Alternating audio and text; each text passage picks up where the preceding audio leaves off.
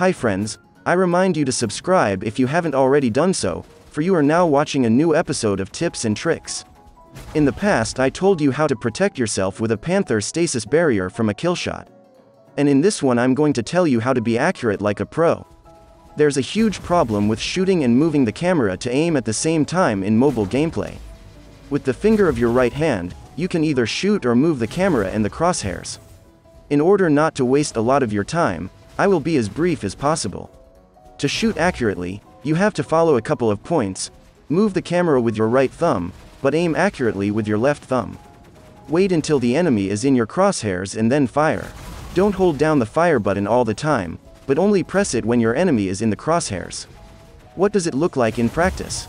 We still do the basic, rough, sighting with the finger of our right hand, but when we need to make a shot, we do the fine tuning to the target with the finger of our left hand, which means moving the mechs in the correct direction, so that the crosshairs are going where you want them to go, and at the same time we hold our finger over the firing button, and at the right moment when the target is under the crosshairs, we press the button only for a single shot. Don't hold the button down. Press only at the right moment when the enemy is under the crosshairs.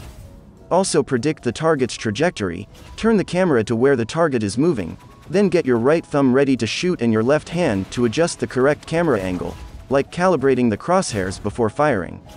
This guide is suitable for instant guns, that is Longarm 8, 10 and Railgun. And if you have not yet learned how to shoot accurately, then I highly recommend you to practice, because Longarm the most powerful and accessible from the start of the game. By the way, if there was a 16 energy longarm, it would be much stronger than the railgun. One more tip is, learn how to shoot with separate weapons, I mean right left in turn.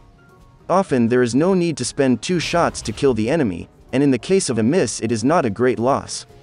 And about the choice of targeting mode. The game presents two different options, the first is the default, it has an automatic vertical sight, we need it. The second free vertical sight, but you cannot pay attention to it, it is suitable only for those who play with the emulator on the computer. That's all, I am sure it was useful for you, more episodes of tips and tricks will be in the near future.